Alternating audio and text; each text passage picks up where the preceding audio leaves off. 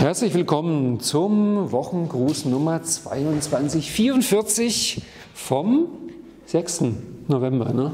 Ich habe das Wochenende nicht gegeben, darum bin ich außerhalb jeder Zeit und Timeline, weil das Wochenende hatte Dagmar gegeben. Deswegen sitze ich hier mittendrin.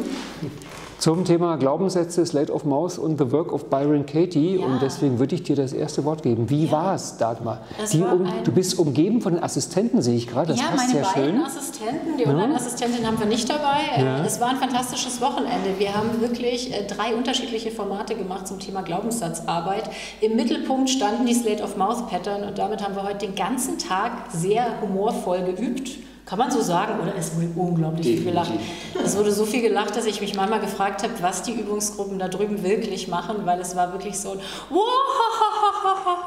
Ja, es war äh, wirklich toll. Genau, ich schätze mal, die haben nicht geübt. Die werden einfach nicht schätze, geübt haben. Ich schätze auch, sie haben aber sehr kongruent vermittelt, sie hätten geübt.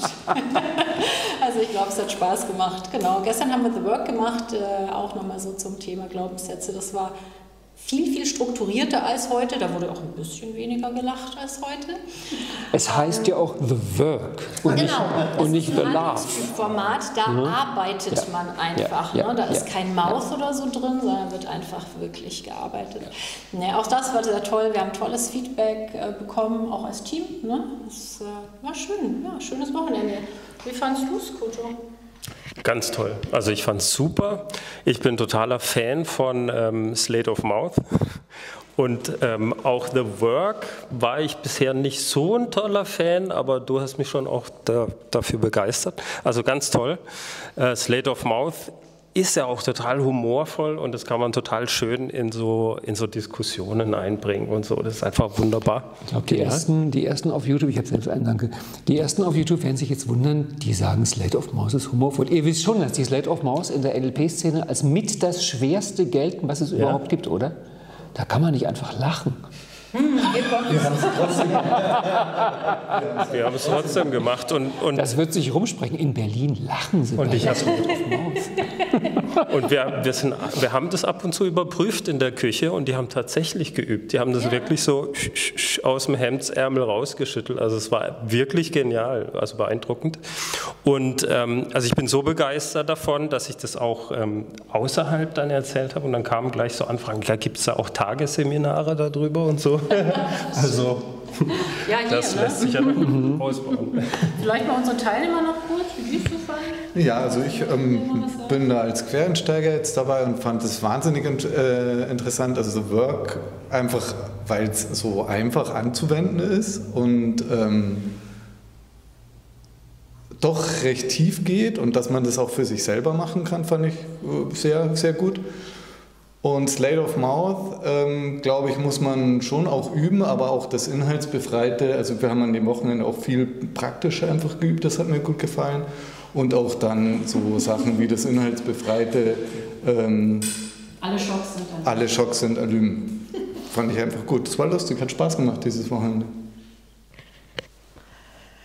Ja, ich bin ein großer Fan von The Work. Ähm, vielen Dank nochmal für die Wiederholung, Dagmar. Ähm, ich habe es lange nicht so in der Ausführlichkeit gemacht, werde es auch wieder mit mir selber machen und auch in meinen Coachings anwenden. Und obwohl meine Work nicht zu Ende war, bin ich heute Morgen mit einer super Erkenntnis aufgewacht, die ich gleich noch in Form einer E-Mail in die Welt tragen werde. Deswegen vielen Dank dafür. Dieses äh, Slide of Mouse Pattern fand ich jetzt mega lustig, ja, lustig, ähm, aber auch erkenntnisreich insofern, dass wir sie zum Bestärken von einem positiven Glaubenssatz nehmen konnten konnten, um das nochmal kräftiger wirken zu lassen, aber auch ähm, für Verwirrung und Konfusion sorgt bei ähm, negativen Glaubenssätzen, die wir bewiesen haben, sozusagen mit einer Zoom-Teilnehmerin. Ähm, das hat sehr viel Spaß gemacht, in beide Richtungen zu arbeiten und natürlich auch entspannt damit ähm, zu streiten, zu diskutieren, Diskussionen zu führen. Das heißt ja auch verbale Kampf. Genau, das hat also, also diese Vielfältigkeit des Einsatzes, ähm, ja, ich werde mir vielleicht mal so drei, vier, fünf raussuchen und die irgendwie regelmäßig praktizieren, weil alle kann ich, glaube ich, nicht mhm. gleichermaßen. Genau, dann sage ich noch was. Also ich muss auch sagen, ich fand es sehr, sehr interessant. Gestern haben wir, wie gesagt, The Work gemacht, eher als statische Methode, die man ähm, auf dem Blatt Papier machen kann, mehr oder weniger jeder mit sich selbst und schreibt einfach von oben nach unten runter. Man ähm, ist in einem relativ festen Rahmen, in dem man sich bewegen kann. Dadurch ist es sagen wir mal, einfach in Anführungsstrichen. Und ähm, heute haben wir sehr praktisch gearbeitet, sehr viel in der Gruppe gearbeitet, ähm, auch in der großen Gruppe gearbeitet. Und ähm, genau, verbale Kampfkunst wurde schon gesagt, fand ich sehr gut. Also man kann quasi ähm, mit Leuten diskutieren, ohne über den Inhalt zu reden, aber man kann trotzdem ganz viel sagen und der andere findet es einfach nur lustig und man freut sich. Und das ist irgendwie äh, definitiv sehr, sehr witzig und sehr humorvoll. Und deswegen darf natürlich auch gelacht werden. Es wird mir gerade auffällt, wenn du Assistent bist mhm. bei einer Trainerin, die in deinem Zielbereich ist, mhm. dann trägst du kein Superman-T-Shirt. Das stimmt.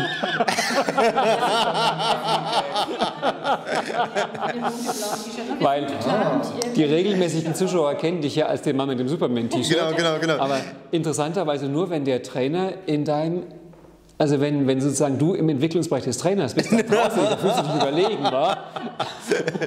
ähm, das ist natürlich eine, äh, eine spannende Sache, die dir aufgefallen ist. Ich meine, ich könnte mich jetzt noch ausziehen und dann äh, könnte man es trotzdem sehen, das T-Shirt. Uh, oh, ich habe es sogar drunter. Also hier, guck mal, ich muss es noch einmal zeigen. Ja, guck mal hier. Nein!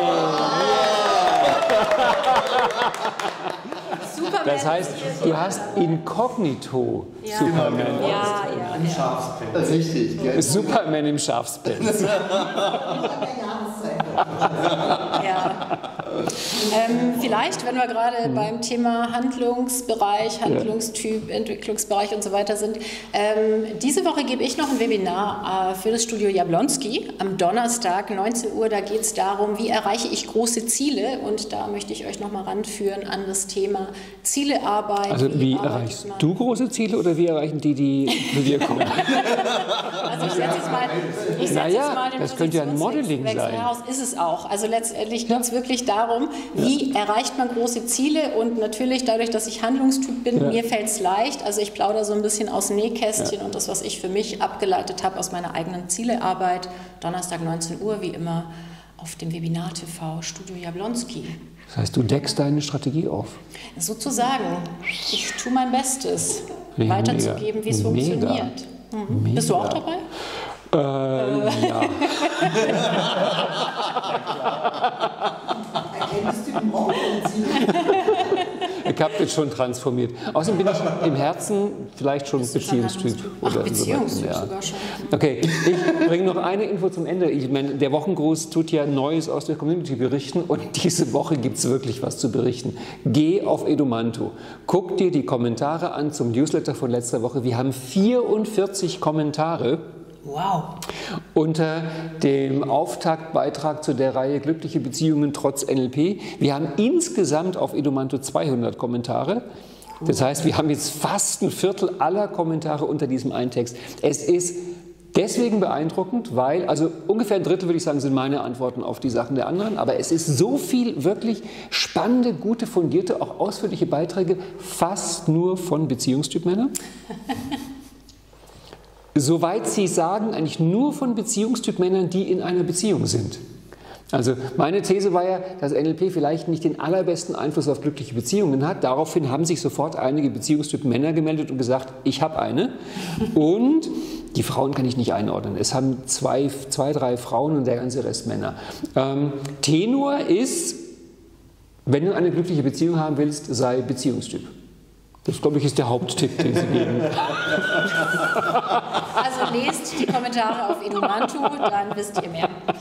Also, so, Grundidee, äh, wenn du bist wie ich, wirst du auch eine glückliche Beziehung bekommen wie ich. Mm. Also ein bisschen so wie, wie erreiche ich große Ziele, mhm. schreiben Sie, wie kriege ich eine gute Beziehung. Genau. Und mein Job ist jetzt irgendwie das Ganze sozusagen von Beziehungstyp auf Erkenntnis- und Handlungstyp zu transferieren, was ich natürlich irgendwie versuchen werde zu echt wirklich spannende Beiträge. Lies es dir durch, kommentiere mit. Das Dumme auf Edumanto ist nämlich, dass man wenn man den Text liest, nicht ahnt, dass unten so viele Kommentare kommen, weil ja. dann kommt erst noch mal ein bisschen was anderes. Mhm. Wir wollen das noch oben irgendwann einbauen. Also ich werde das noch unter dieses Video den Link drunter machen, dass du dir auf dem Text die Kommentare angucken also kannst. Also ganz nach unten scrollen, da kommen die Kommentare. Genau. Der heute kam, der gestern kam der zweite Teil der Serie. Es gibt noch keinen Kommentar. Mhm. Vermutlich sind alle erschöpft. Mhm. Aber ich kann mir vorstellen, dass das weitergeht. Ich habe ins Schmetterlingsnest gestochen mit der Serie Glückliche, glückliche Beziehungen trotz NLP. Das, glaube ich, war es. Dienstag kommt ein Podcast, Donnerstag bist du, nächsten Samstag ist der neue Newsletter. Das war, glaube ich, im Großen und Ganzen so das Berichtenswerte. Ja. Dann würde ich wieder hinter die Kamera gehen und würde ausschalten und dann würde ich runterzählen, da wo ihr alle nochmal winkt und dann haben wir ein schönes Ende. Ich fange jetzt schon mal an mit Winken, weil ich aus dem Bild Wir können schon mal anfangen zu winken, Genau. damit Und nicht alles ich verpasst, ende jetzt. jetzt.